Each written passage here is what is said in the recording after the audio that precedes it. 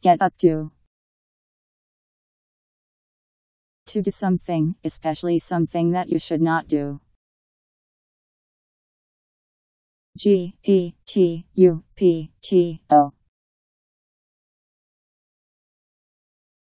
Get up to.